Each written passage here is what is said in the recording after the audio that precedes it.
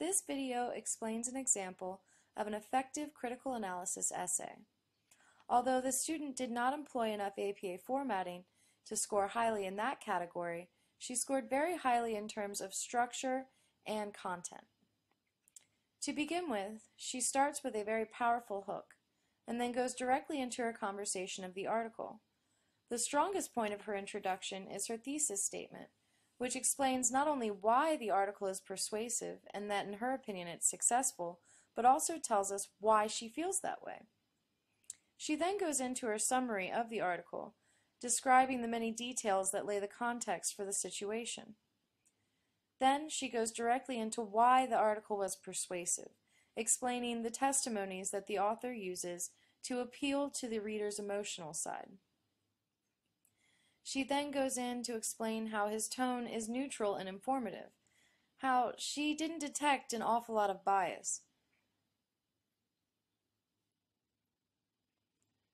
Then she compares the article to other articles today and starts to explore it for fallacies. She finds that Bransford does an excellent job of keeping information accurate and to the point. These sorts of statements of evaluation is what will help your essay score high in terms of content and evidence. Finally, in her conclusion, she recaps and goes back to her introduction where she says that it brings awareness to homeless people and that issue. She restates her thesis statement that the article is persuasive because of the real-life elements, neutral and informative tone, and easily understood language. All of this summarizes what she said in her essay. Finally, she says that the author is very persuasive and brings the issue of homelessness to a greater light.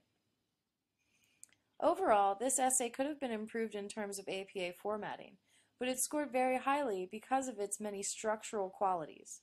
If you have any more questions about how you should structure your essay, please see the assignment details or ask your instructor.